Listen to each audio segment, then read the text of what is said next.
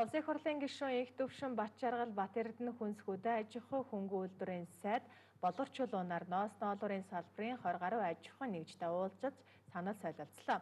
Уулзалтаар ноос ноолуурын салбарын өнөөгийн байдлын талаар болон тогтоол заасан худалдааны техникийн зохицуулалтын асуудлыг хөндөж ярилцсан байна. Засгийн хамтрын 2022 оны 10 дугаар сарын 19-ний өдрийн 380 дугаар тогтоолоор Ямааны ноолорын боловсруулалт худалдаанд мөрдөг техникийн зохицуулалтыг баталсан. Тус техникийн зохицуулалтыг хүрээнд экспорт импортын зориулалтаар улсын хиллээр нэвтрүүлэх Ямааны ноолор нь хялгас болон завсрын өсний агуулмж 0.3%-аас ихгүй байна гэсэн зохицуулалтыг тусгасан нь зөвхөн самсан ноолорыг хиллээр нэвтрүүлэх гол зохицуулалт болж байгаа. Ноолорын боловсруулалт худалдаан техникийн зохицуулалт хийснээр угаасан ноолор экспорт нь гаргахгүй 4500 тонн хялгасыг нь ялгсан самсан ноолор экспортлож 2.1 сая ширхэг шүлжмэл бүтээгдэхүүн борлуулж нийтдээ 660 сая ам долларын борлуулалт хийж салбарын борлуулалтын орлогыг 294 сая ам доллараар нэмэгдүүлэх боломжтой. Самсан ноолуурыг одоо шатлах ахуйд манайх угаасан гэж гаргаж ирсэн шүү дээ. Ингээд л бол одоо их хурлын тогтоол энэ 22 оны 5 сарын 5-нд гарсан сая 10 сарын 19-нд засгийн газрын тогтоол гарсан. Ингээд зөвхөн самсан ноолуурыг одоо гадагшаа экс болохоор юм болж байгаа. Ингэснээрээ бол одоо хуучин угаахад ажиллаж исэн 2200 ажлын байрыг хадгалаад дээрээ нь 4-өөс 5000 ажлын байр шинээр нэмэгдэж байгаа.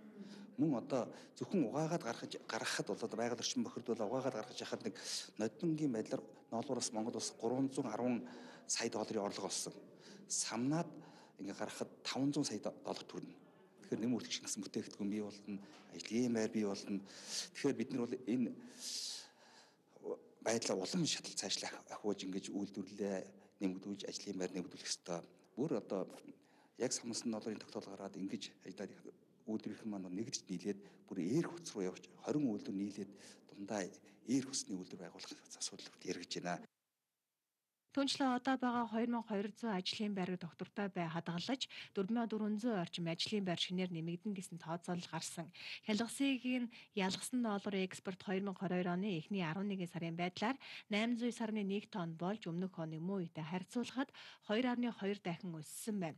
Хялгасыг нь ялгсан 1 кг долларыг 2021 онд дунджаар 91.9 ам доллар борлуулж байсан бол 2022 онд 108.3 доллараар борлуулжээ.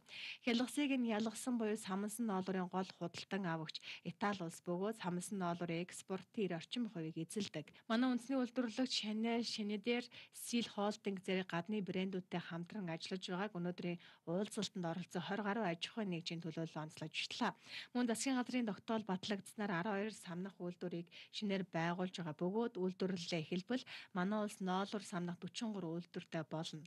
Монгол улс ноолурын бэлтгэлийн хэмжээ ямааны тоо толгооноос хамаа марч жил дунджаар 100000 тонн хүрдэг. Манай улс нийт бэлтгэсэн долларынхаа 70-аас 80% зөвхөн угааж 10 орчим хувийг самсан байдлаар экспортлож 10 гаруй хувийг бэлэн бүтээгдэхүүн болгон гадаад дотоодын зах зээлд борлуулж байна. Хот нийтийн